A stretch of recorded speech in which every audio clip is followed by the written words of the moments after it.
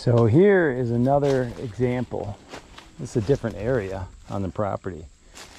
You can see through the woods there, there's a ladder stand in a tree. This is the property line. This is the neighbors. This is this property.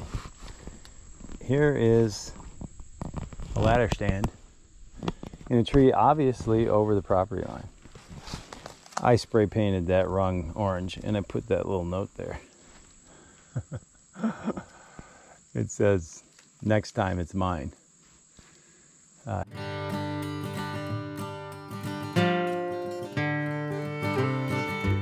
all right, we're out here in the woods. We've got a camera up there. And that solar panel isn't working. My battery's going dead. So I'm gonna ascend. I've got a rope set and we're gonna get up there and swap out the solar panel and we'll we'll figure out what's wrong with that later. We're gonna tie a running bowline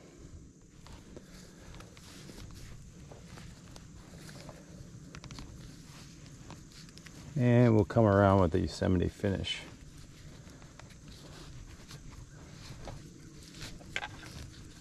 Dress that up and we can set that. I'm out here alone, so there's no real reason for a, a rescue. We'll wrap this around the trunk a little bit for some added friction. This is gonna be my ascent line up here.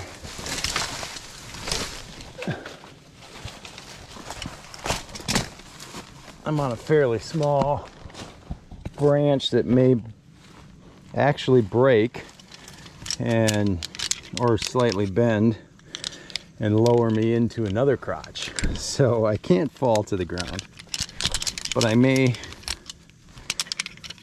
I may drop a little bit. But I've added some friction around the tree to reduce that potential. And put my gloves on here and I've got to tie on my little bag of tricks here. I've got a, second solar panel and some other stuff. Got to get around this dead branch here.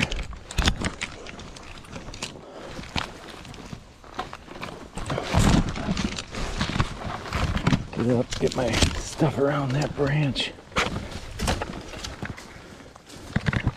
So I can hang.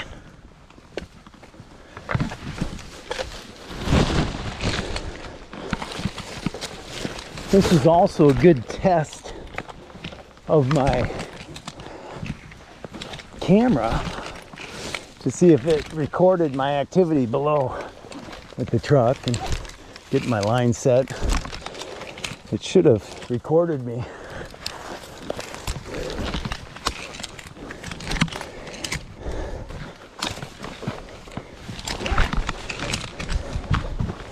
It's actually a cellular camera. So it transmits pictures cellularly and I can take my phone and open up an app and look look at the pictures. Right.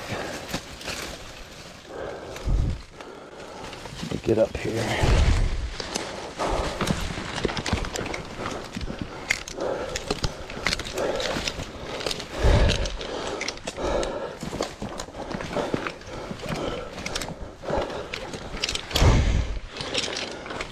This is a red oak, northern red oak. Oh, I didn't even break that branch. Northern red oak, kind of flexible when it's green.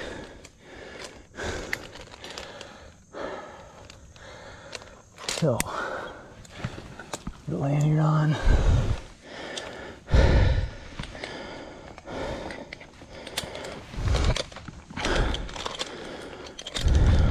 There's a camera up there. Got a little shroud over it. I gotta cut off a little bit of that shroud as well. Try to make it uh, to give me a little more peripheral vision. Okay. Now for the benefit of my friends in Guatemala, I'm gonna set a rig. I've got a Petzl Avao Bod harness. It's full body harness. It's got a it's got a chest attachment.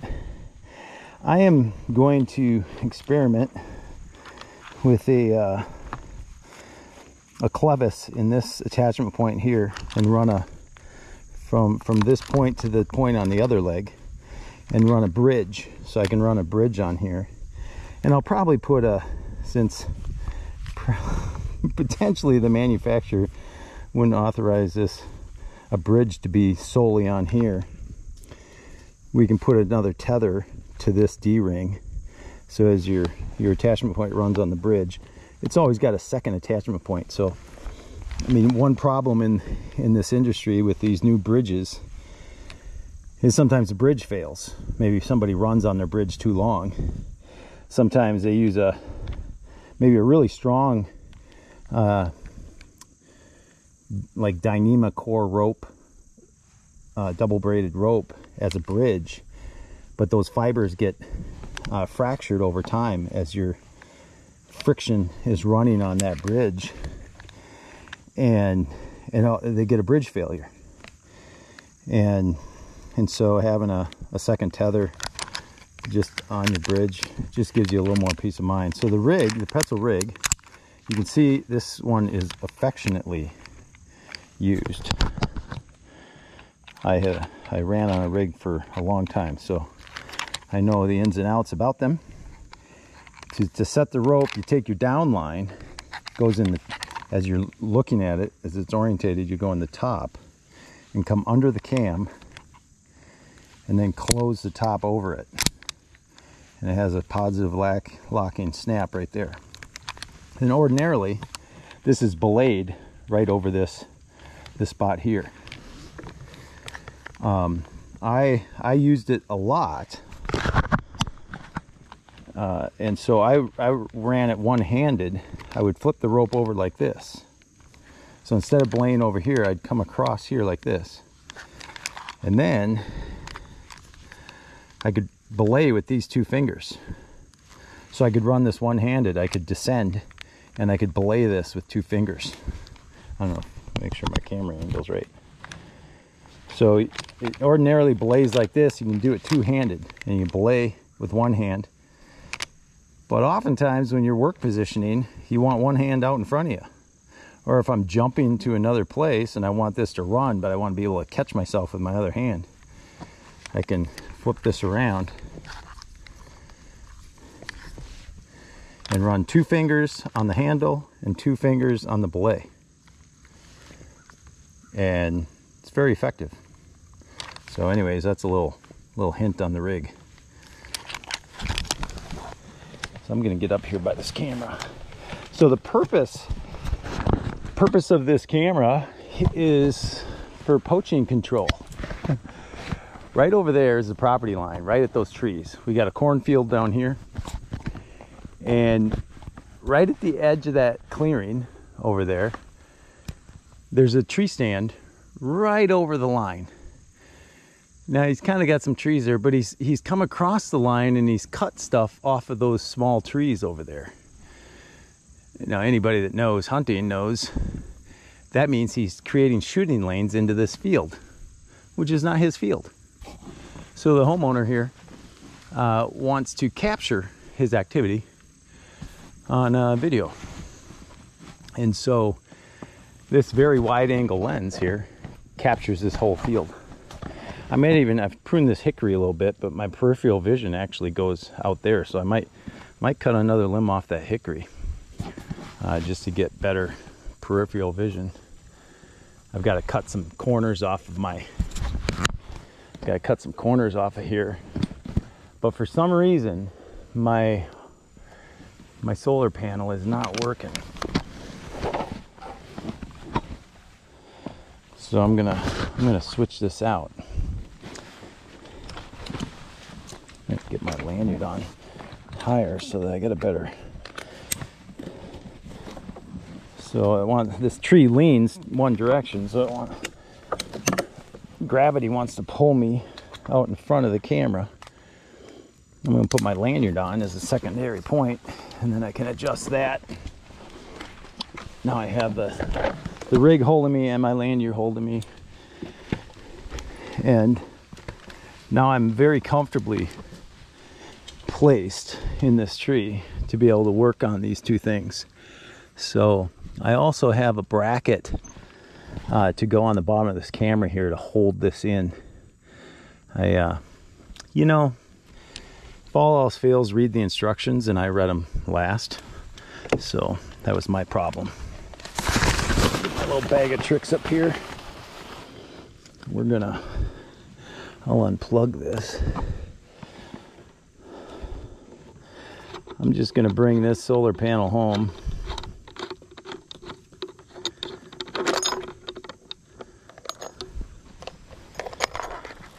I brought my little Emerson knife along.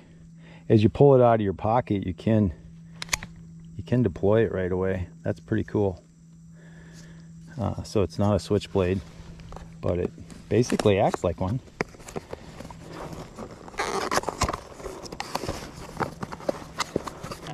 Rack it. All right. All right, so the mistake I made on the first one is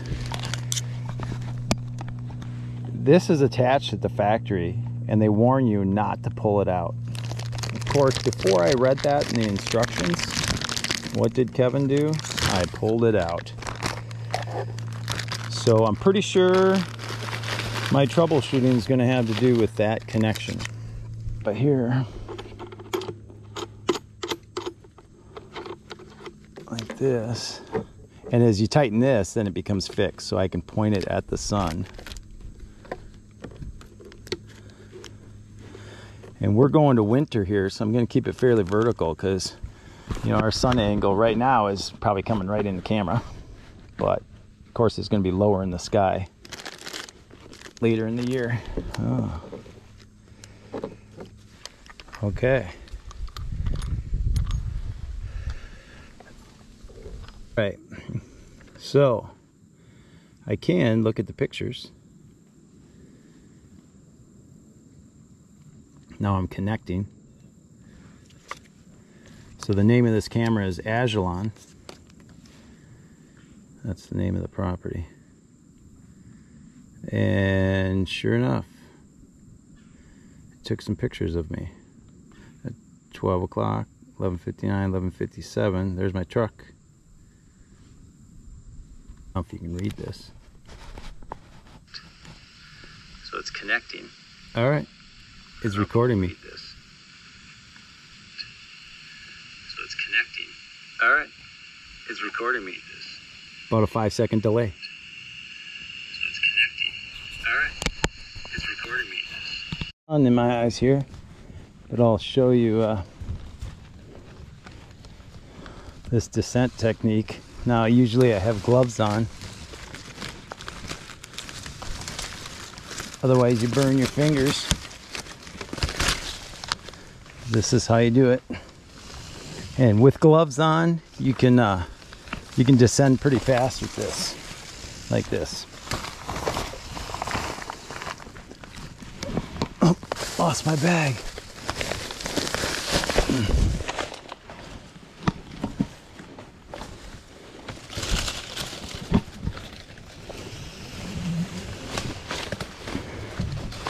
Or you just descend with your your belay hand.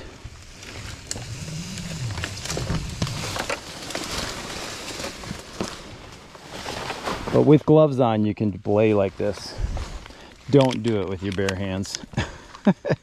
it doesn't treat you very friendly. So here is another example. This is a different area on the property. You can see through the woods there, there's a ladder stand in a tree. This is the property line. This is the neighbors. This is this property.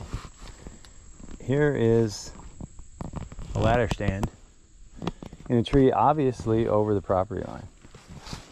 I spray painted that rung orange and I put that little note there. it says next time it's mine.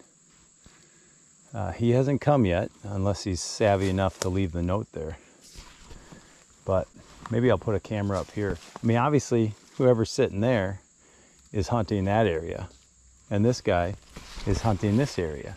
This field is, you know, the property that I help out with. You know, there's 180 acres over there, and they got to hunt the line. I don't get that. 180 acres, and they got to hunt the line. I tell you, it's just a testament to human nature. you just never have enough. It's crazy. But that's what we're dealing with. So I don't get to take it today because the note's still there. If that note's ever gone and the stand is still there, it's mine. All right, well, today the Game of Trees was was uh, doing a little anti-hunting. I'm not personally anti-hunting, but my client is.